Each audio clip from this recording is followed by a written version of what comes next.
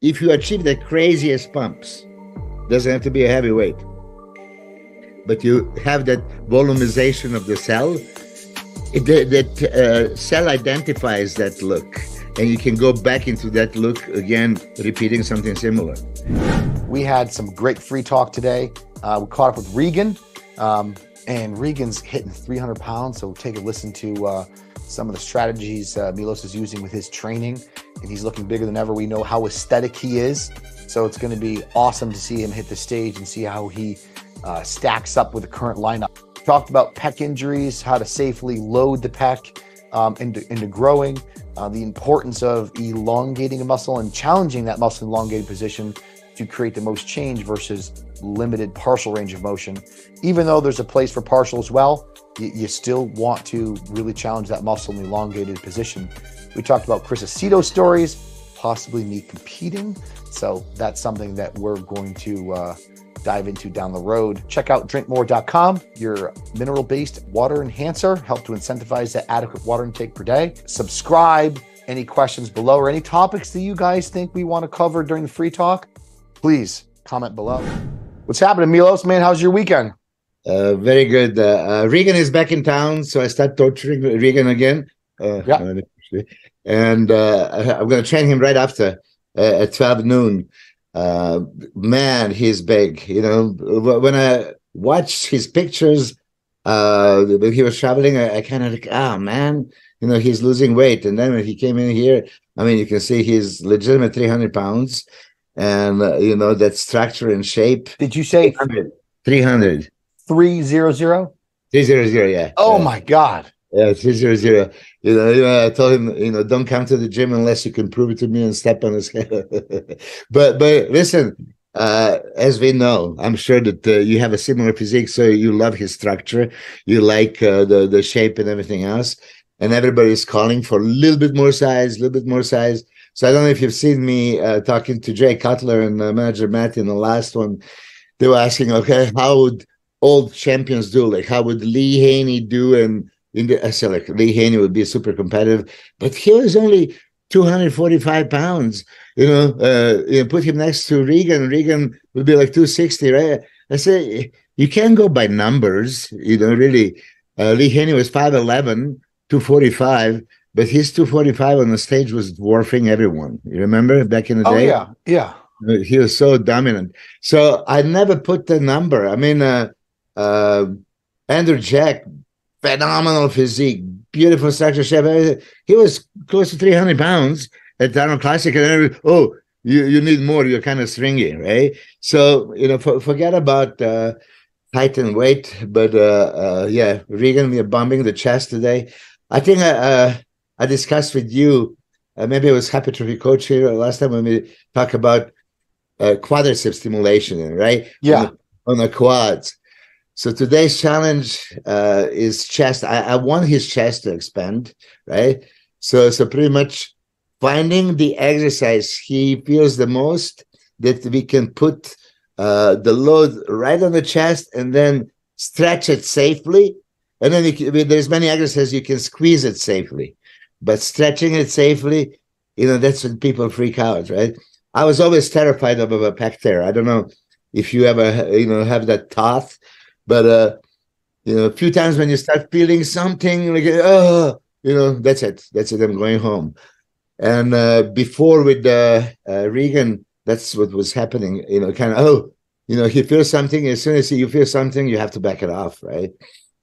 Yeah, hundred percent. You know, uh, real quick before we go into the pec tears and the stretching and all that, I, I would arguably say that Regan has one of the most aesthetic physiques in the open division, and him coming in with more size.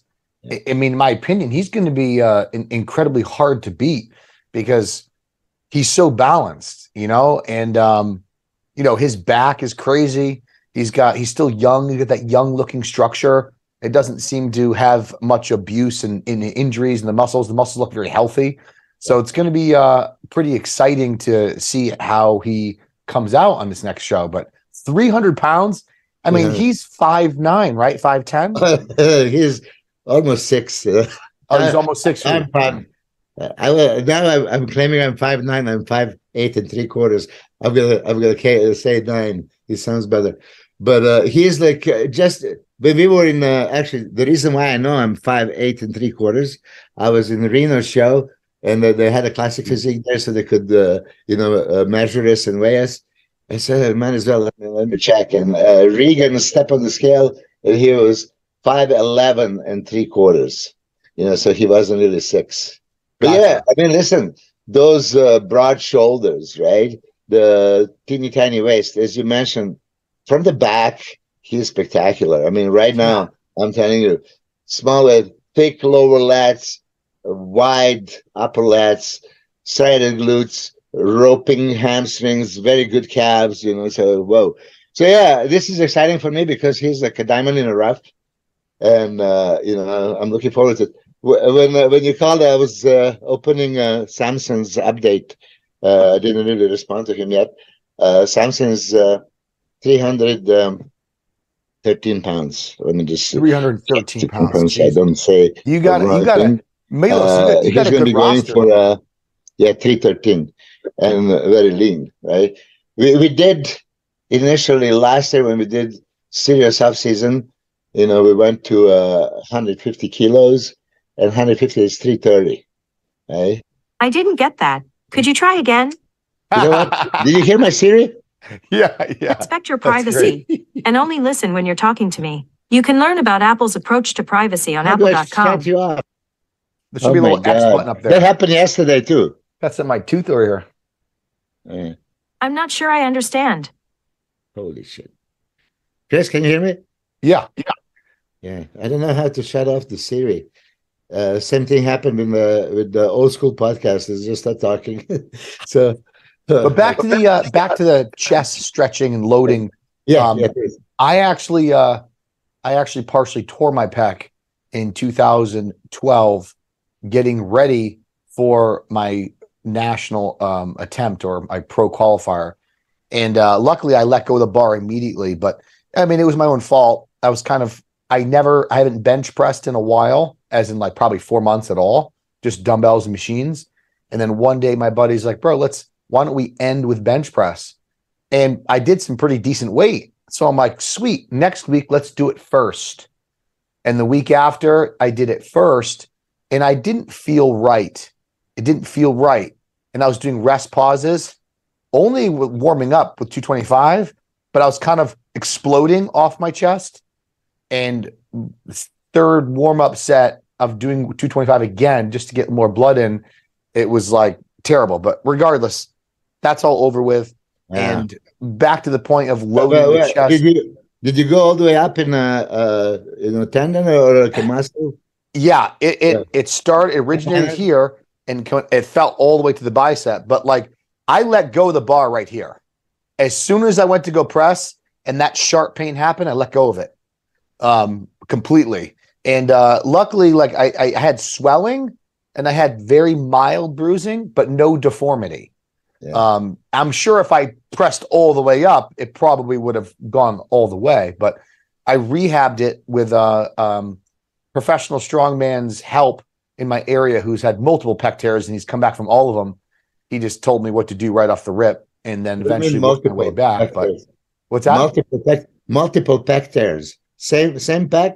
Uh, no, him. He yeah. tore no different parts of his pack, both packs.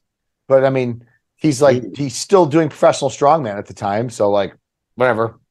Um, but you know what's funny, Milos, is before I move on to exactly what you're doing, uh, loading the pec safely, is the year and a half after I tore my pec, my chest grew faster than ever because I had to learn how to make lighter weight so much harder. So I had to hyper focus on squeeze as you always talked about, as we talked about here. And remember one day Evan Centopani's like, he's a good friend of mine, and we were training on and off during that time. And he's like, bro, what did you what did you do to bring up your chest so much?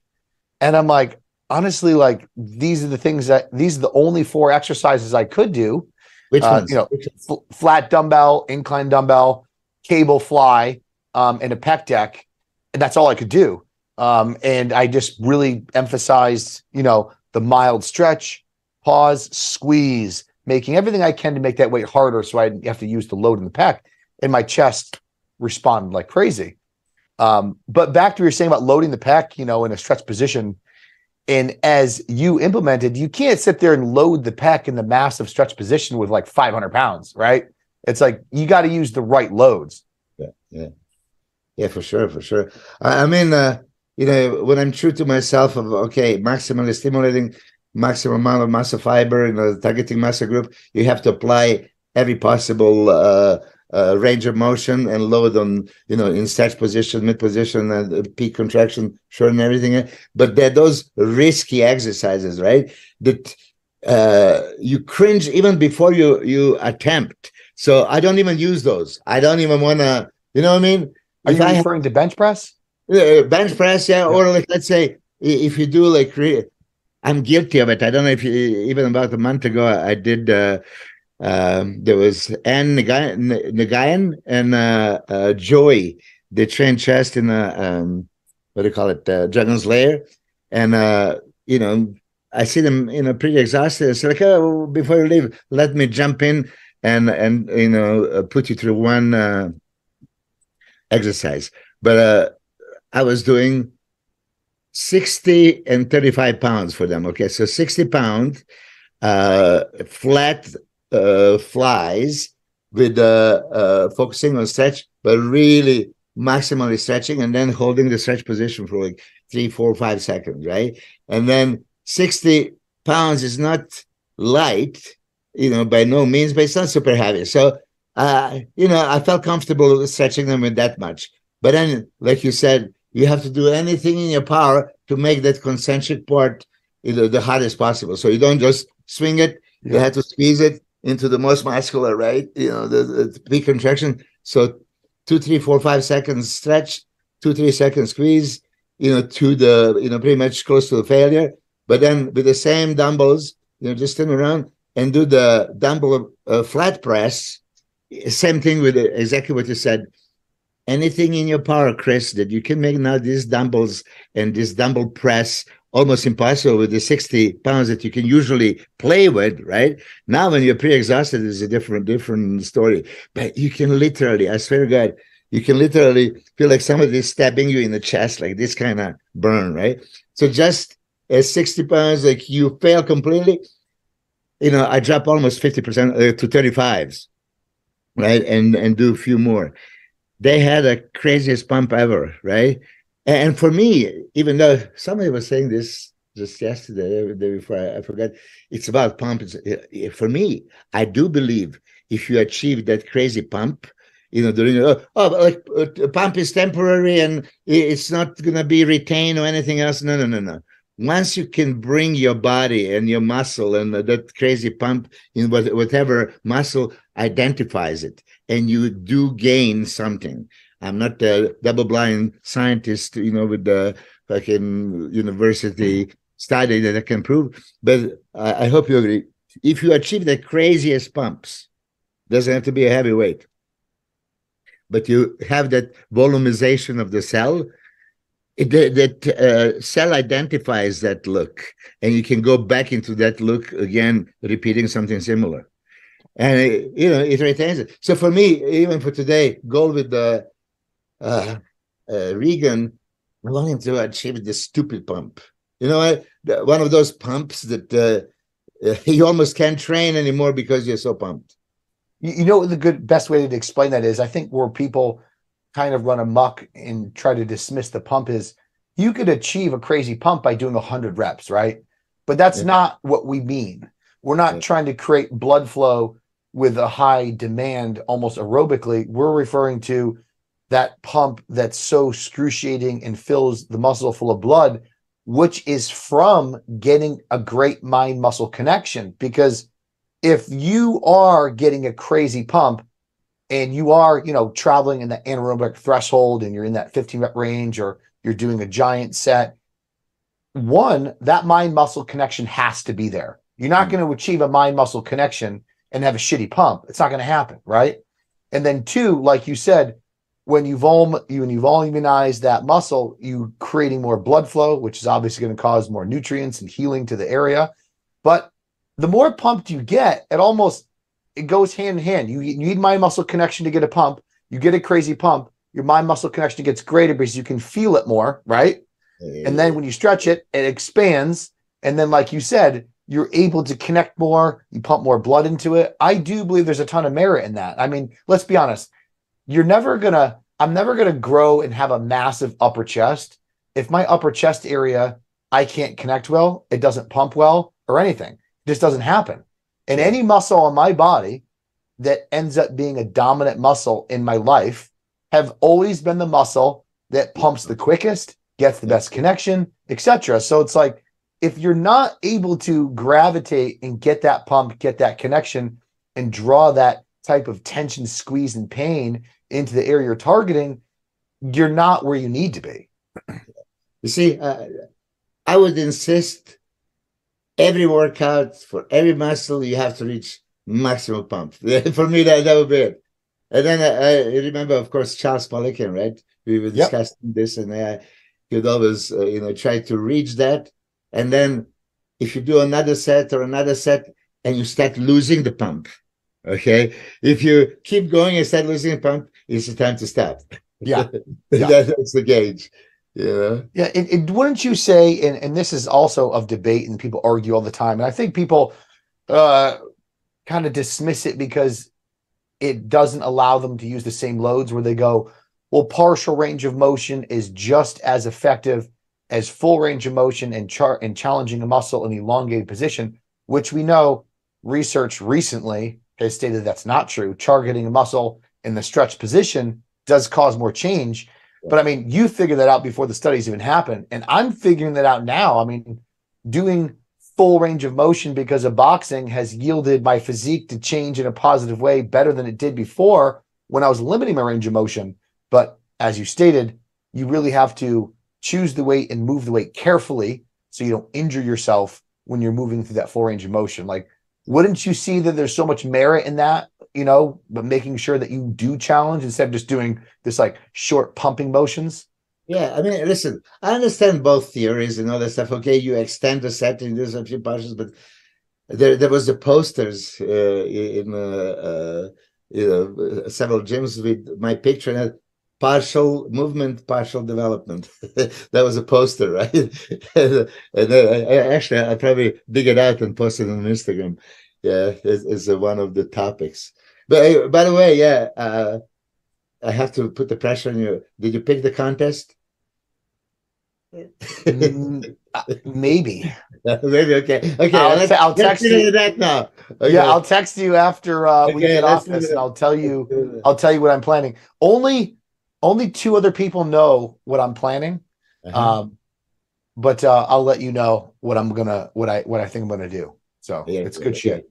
Uh, no, seriously, you know, I, am not uh, talking nonsense. When I've seen how great you look, uh, you're so close to the contest shape, and your physique is improved. I mean, uh, I see you flawlessly. I mean that uh, waist to chest to shoulders to lats ratio, everything is happening big time and, and, and, and like what Jose told me, he's like, dude, the cycle you ran and you only training three days a week, rollerblading, mountain biking, and and boxing the rest of the days of the week. Like, could you imagine if you just, you know, for 16, 20 weeks, just put everything back into what you needed to, you could squeeze a little more out of it. So, you know, and, and my body feels good. That's the better thing. Like my joints, everything feels pretty damn good. So better than it was five or six years ago. See, that that that's the beauty of it, and that would be breeze, uh, enjoying the contest prep. You see, this is I, I see uh, we, we have uh, so many clients, and you have a clients that are so miserable during the training, right? during the prep, the everything bothers them. This bothers them. This. I mean, most of my shows, I really, and I did 110, 72 pro shows.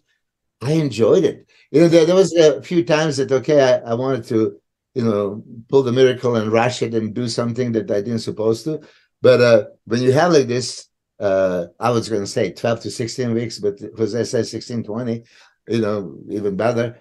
Uh, I, I just think that your body fat loss job is already finished, which is beauty. So I think that you, your starting position will be way ahead of some fatso that needs to first get in shape, right? You, you are close to the contest shape. So I don't think you need really 20 weeks, but uh, hey, you know. Oh, no, I meant like um 20 yeah, weeks yeah. where I, I'm fully bodybuilding with my training and everything like that. That's what I meant. Yeah, Not like prep. I know what you mean. no, no, I'll disappear. you, you know, look, that's actually a really good topic. You know, when when people are miserable in prep and everything's wrong, and um, I have this talk about with some people sometimes where you know people who love walking will walk the furthest. People who love the destination will walk the least right. furthest. So when it comes to preparation, you do get people that love the idea of competing, love being lean, love being ripped, love being on stage. And then you get the people that just love the process, the lifestyle, everything. Because I'm like you, I love the prep. And when people saw that I was getting in shape, I got criticized years ago for getting really, really crazy shape for a photo shoot when I was sponsored by Animal. And they're like, bro, it's a photo shoot, relax. And I'm like, one, I enjoy the process, it's easy. Two, like, why wouldn't I want to represent myself the best way possible? So, like, getting in shape this time, like, Milos, I never wrote my diet down. I did it all in my head. And when it was time to refeed, I I would make the adjustments. But I, I like it and, and, I enjoy it. I enjoy everything about it. Uh, so that aspect is so foreign to me when people enter prep and they're like, "Oh, I'm so tired. I'm so hungry. I can't wait to eat this. I can't wait to eat that." When I'm in prep, I never think about any of that. I think about the process of reading my physique, do I need to feed? Do I not? I'm enjoying the training. I'm enjoying the grind. I like seeing the changes week to week. I'm obsessed with all of that. Writing notes like you do. Like I have some notes downstairs that I wrote that I was kind of like, you know, this is something I might want to consider doing differently, or this, this is my response. And like you said for me to do, remember after post show, after this thing, you said start feeding aggressively. Well, I did that. Um, and uh, I went up to 100 grams of carbs per meal, so 500 grams of carbs, and my weight moved like one pound, and I just looked grainy, harder, drier. And, and it, screaming and, for it. Yeah, and and my digestion was weird the first day, and then it was fine second, third, fourth, yeah. and I did it for four days, and it was fine. Yeah, but uh, on that note, because this is uh, again for whoever is listening, is this is two elite coaches and pro bodybuilders they've been there, done that. So on the first point that you were saying, uh, all these miserable people, because mi- misery loves companies, is, oh, why would you be in shape for a photo shoot? Uh, is uh, excuse me? I mean, uh, photos are forever. Number one, that goddamn photo I take, you know, twenty years from now, like what I'm doing now. There's people say, Milos, come on, stop, stop living in the past. I'm not living in the past. I'm just enjoying the memories. You know, uh, shit. You know, uh, when I look at it, uh, why would I not? But for me, every photo shoot I took was just like a contest prep, I swear to you. I mean, you know, of course, not maybe exactly, exactly, but I would try to time it, you know, carb up a little bit and drop the water and, you know, uh, put the tan on for a photo shoot. I mean, my gym was official gym for a, a Flex Magazine photo shoots, you know, for like six years and guys were obligated to come to the gym to shoot with Chris Lund. And Chris Lund would come to me sometimes. I don't want to mention the names because I don't want to insult him. He said, yeah, he's looking at me. He said, he's like just that uh, serious British accent, like, hey, what am I'm going to do with this, you know, bloody mess. Like, what do you mean? I said, you know, I can't take picture of this shit. you know, I mean? so a guy flies from wherever to come to the Flex magazine, uh, you photo shoot, and showed up in a shape that photographer doesn't want to take a pictures of. So cancels the thing, calls Joe Weider, you know, and then screams and yells, right?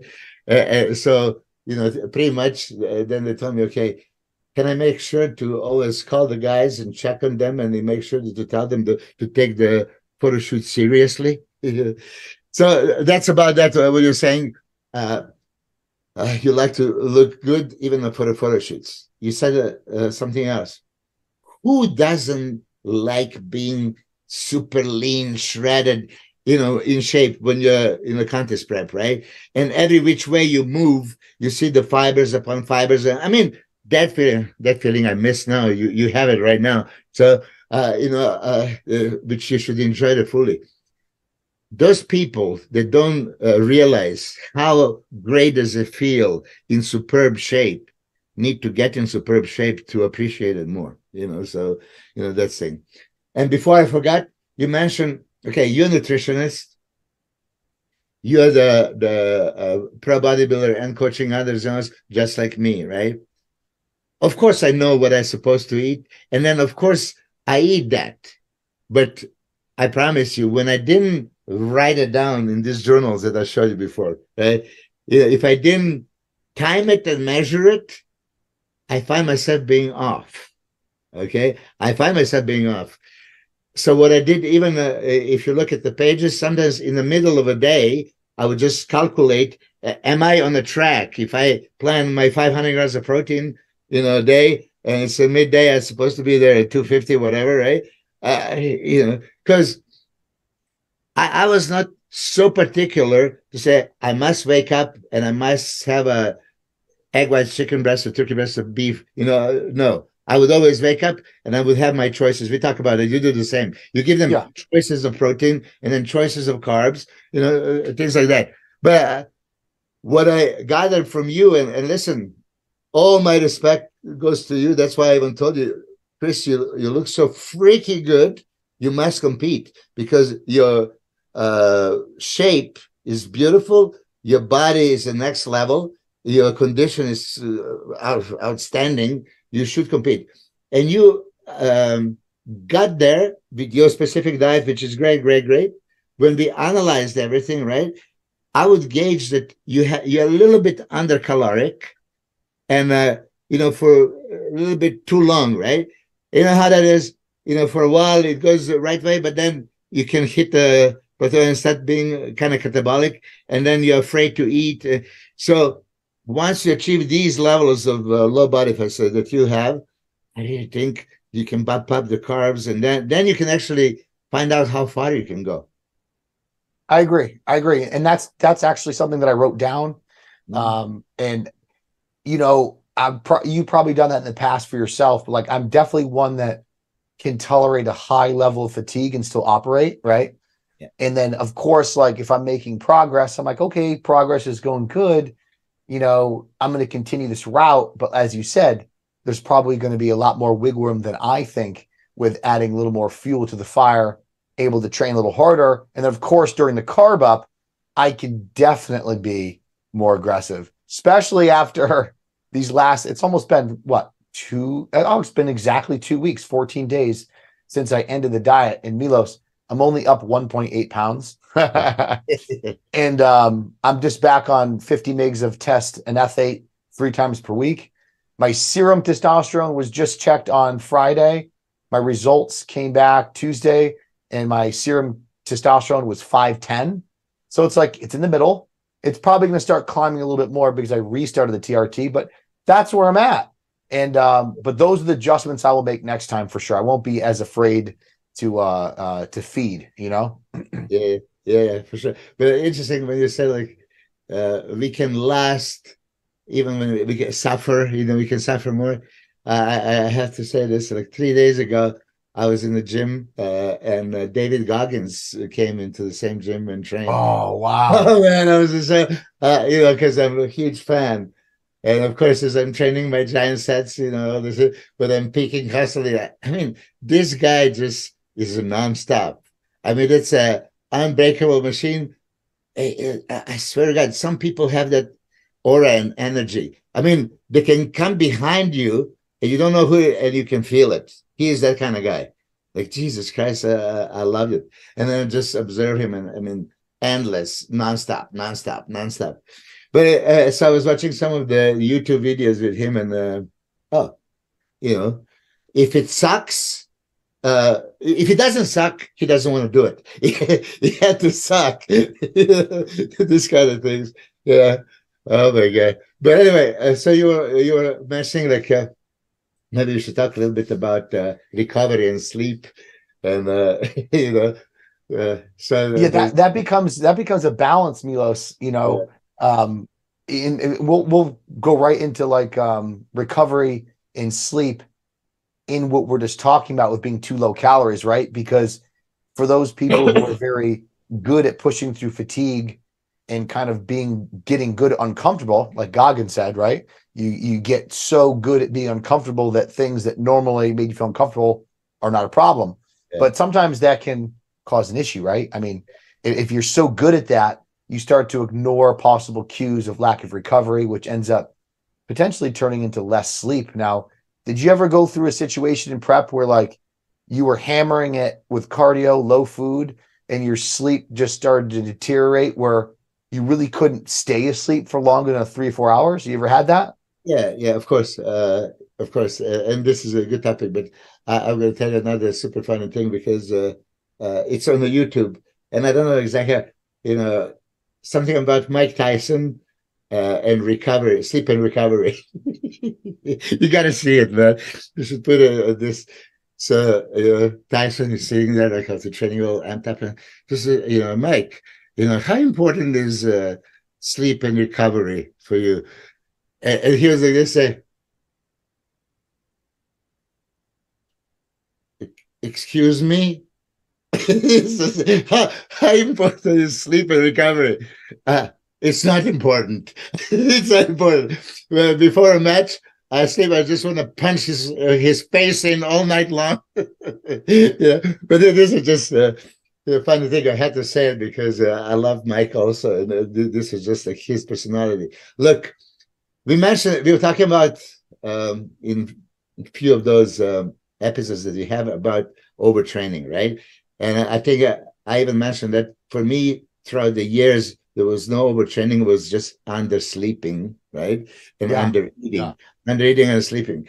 Uh, everything else, I mean, yes, there are many methods of recovery and we need all this, uh, yeah, but undersleeping, you know, if you undersleep, yeah, you can uh, not recover. And, uh, you know, this is the, the major thing. So sleep is a, is a really uh, crucial.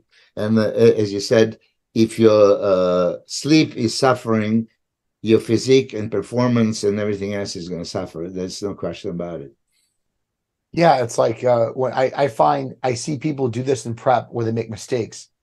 They will get fatigued.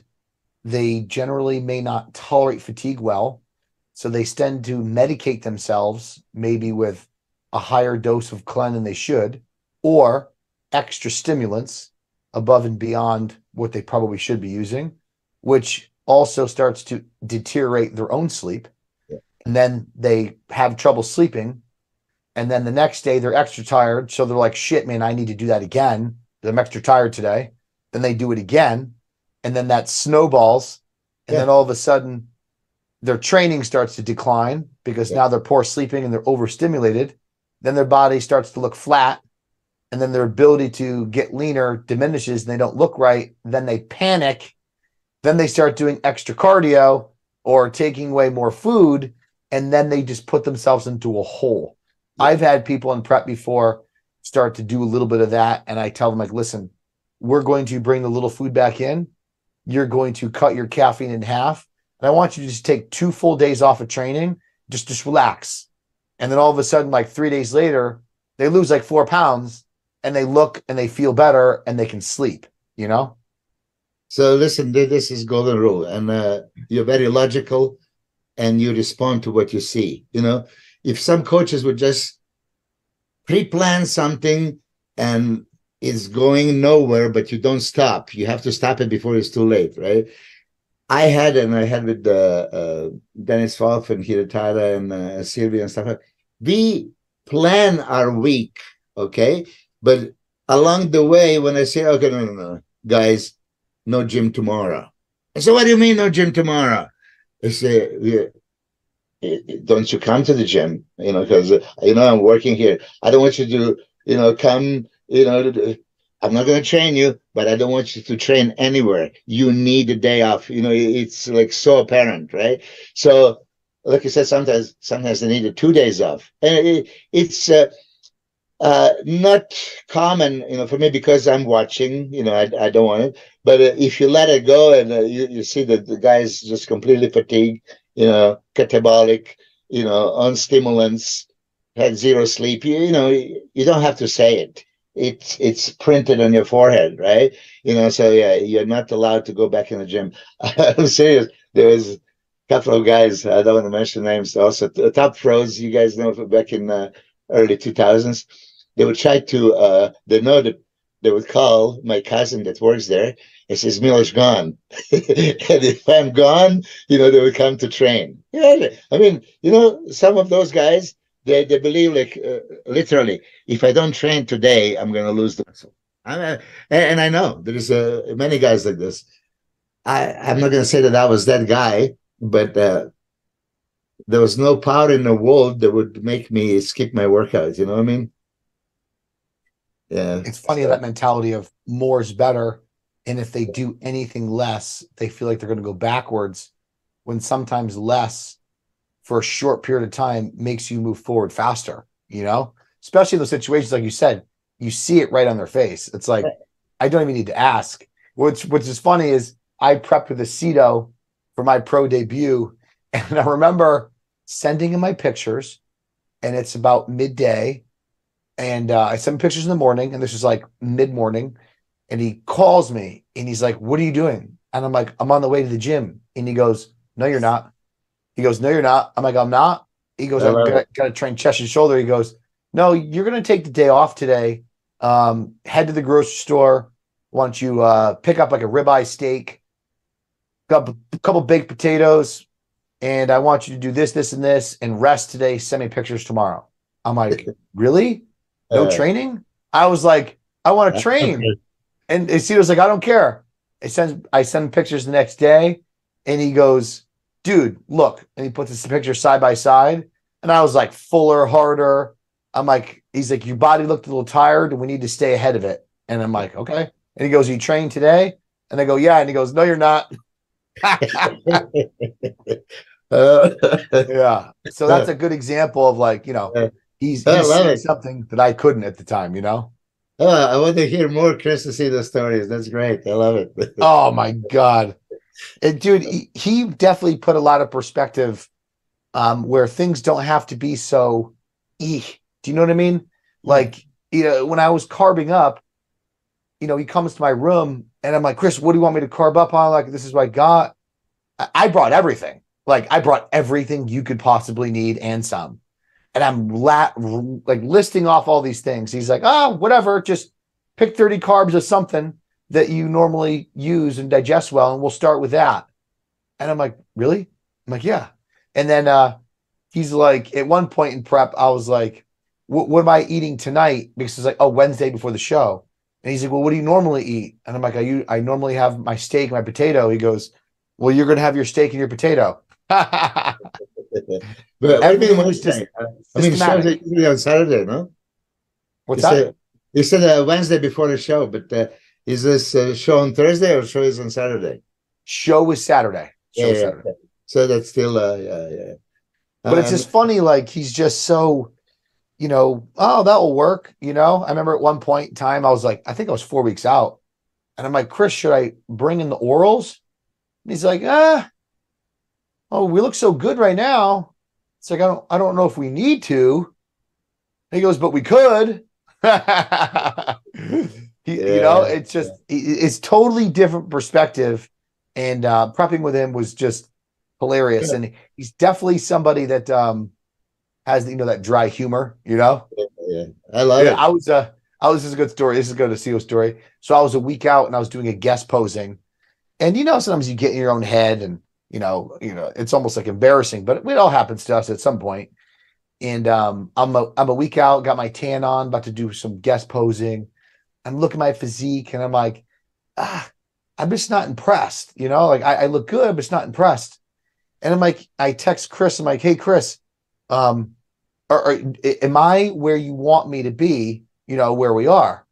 And he responds with, Chris, last Tuesday um, I had an optometrist appointment, and uh, he said I had perfect vision. Meaning, shut the fuck up. I, I can see fine with my eyes. Isn't that great? I love it. I mean, uh, he, he seemed that way. I just never had a, exactly that kind of conversations because we don't prepare each other. But uh, I hear from many other guys, you know, uh, or uh, they would want to have a potato or something, uh, and uh, he gives them a muffins or, or, or donuts and stuff like that. Uh, yeah, yeah, muffins. yeah, yeah. This is going to do nothing for you, and have that one. Yeah, I mean, yeah, you gotta love him because listen, he's in the sport as long as I am competed and uh, had a tremendous physique. Remember his physique? I mean, yeah. I'm kind of bummed that he didn't go and uh, pursue the pro uh, league. You know, he could have. He had that shape. Here's a quick story, Milos. I did my first show, did not do well. Um, I had somebody help me locally, lost 36 pounds in like seven weeks, eight weeks. It was insane. Um, but after that, I wanted to do it myself. I wanted to learn and I'm, you know, this is back in 2005. Like there's not a lot of coaching going on. And people like yourself who were coaching weren't mm-hmm. taking people on like me. You know what I mean? So I bought all of Chris Aceto's books, The Championship Bodybuilding, The Key to Fat Loss. I read all of his books and then followed everything to the concept to the T that year. I put on 13 pounds of stage weight, came in better condition and won my show. And yeah. that was funny. It's like that's how everything started and me wanting to really love the process of prep and learn because I was like, I'm listening to this guy. It didn't work out. Well, I want to try to do it myself, read these books, educate myself through my second show, and came back significantly better um, just in that one year. And I did it myself. And I was proud of that. But that was kind of funny how you just take those simple layman's terms uh, because those books are very easy reads, very easy concept to understand, and just applied it and it ended up working flawlessly. But that, that's a funny story. Yeah, story. it is. But but you're not that better, you know, than, than most of the people. I mean, uh, the, guys think there is a, some secret, you know, there is something special and shit like that. You know, it's always like this, like right. I mean, to the point of eating this, eating that. Uh, I promise you, all of my athletes, uh, I don't give them the diet. Give me what you're eating. So I see the foods that you're eating, okay? And now foods that you're normally eating, I'm just adjusting how much when, you know, uh, things like this. I have a now uh, four Brazilian pros, you know, the, the Brazilian, they, they're all good guys. You know, this uh, one that uh, just just came about, and he says me the diet six meals chicken, chicken, chicken, chicken, chicken. Oh, so I said, like, okay, um, why just chicken, right? You know, do you eat? Uh, can you eat? Oh yeah, I can eat eggs. Uh, can you eat fish? Oh yeah, I can eat fish. Uh, how about beef? Oh yeah, I can eat beef. I said, well, why would you just eat chicken? I, I, don't get it. You know, but that's interesting because uh, remember Andreas Munzer back in the day, and yeah. uh, the, all the Germans, all the Germans. I had so many Germans, right? There was there was doing a, a Andreas Munzer diet, and you know what it was? Chicken and quark. Quark is that uh, German, kind of like a cottage cheese, but it's not a cottage cheese, but it's like pure protein, uh, delicious. I mean, I I wish we have it here. I mean, it's just pure protein. You can use quark to make a, a, cheesecake. It's that good. I mean, seriously. Oh. My my biggest regret is that we don't have that. Every time when I go to Germany, the easiest way to eat the protein, even though it's a dairy, it, it, doesn't have the same effect. I mean, they were all all of them. Like right now, I have a German guy. He's eating like 500 grams, over a pound of quark, a couple of meals a day. But anyway, uh, so Andreas was doing chicken and quark as a protein, rice and pineapple Okay, those are the four things in a diet, nothing else. and then you know the, there is uh, this guy, this guy, this guy, German guy. I say, okay, send me your diet. It's always the same exact diet. I mean, monkey see, monkey do. They were all just doing the exact same thing. Yeah, yeah. They just yeah. There's there's so much there's there's so much merit to having a variety of food of proteins and having the choices like it, there really is for gut health and micronutrients, etc. Especially in the off season, you know. But but you tell me because you're you're certified, and I, I can't really discuss this at that level because uh, I'm not aware of. But uh, Charles Poliquin again, you know, back in the day was saying, hey, you know, if you eat exclusively one kind of protein, exclusively like chicken, you within a month or so you're gonna start being allergic to chicken, and uh, you're gonna. And I didn't believe him. I I, I bet him a couple of times. I, I, lost a couple of times, and I, I won a couple of times. But that time I lost. Yeah, he showed me that uh, on uh, the the test that yeah you become you you you uh, make uh, uh, antibodies and uh, you become allergic if you do it exclusively. There's, yeah. Know, so yeah. So the, the research on that is still a little limited, but this is what they theorize is the fact. Well, actually, this is proven, but mm-hmm. it's more of like an intolerance versus an allergy because you know you have your IgA and your IgG blood markers. So when yep. someone's diet's very limited and repetitious, repetitious, repetitious, the, the gut doesn't get a diverse amount of food. And when it doesn't get a diverse amount of food, it starves the healthy bacteria in the gut microflora. And as the gut microflora starts to deteriorate and die, your ability to assimilate and digest food starts to decrease. And then all of a sudden you start to have an intolerance to all the foods that you eat. And then then people be like, oh crap, I can't eat this anymore because this. Then I'm just gonna eat this. And eventually they're only eating two foods, and then they have a problem with those two foods. So there is a lot of um, truth to developing those intolerances when food's too limited. And and yeah. people in bodybuilding, we're always like easy, convenient, easy, convenient, easy, convenient, but that comes with a cost, you know? Yeah, yeah. I mean, the it's perfect explanation. I mean, I, I couldn't have done it that way. So uh, I'm glad that you clarified this. So whoever is listening, do not be so like myopic and yeah, uh, chicken, chicken, chicken, chicken. you know, so, uh, fish, fish, fish, fish, fish.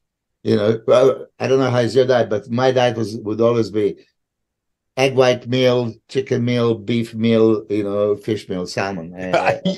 Hundred. you just said my diet. I, I have sometimes two egg meals a day. Always have one. I have chicken every day. I have beef every day, and I'll have salmon at least three or four times per week. So that's kind of what I float around. But Milos, I gotta fly, my yeah, friend. we gotta go. Yeah. Anyway, yeah, it's, this is a good discussion, man. Um, I'm glad your weekend went well. My weekend was pretty good, but uh, free talk is good, man. And I'll uh, I'll talk to you next time. Yeah, early next week. All right. Yep. Hundred percent. Have a good one. I know. you. Right, Take care, buddy.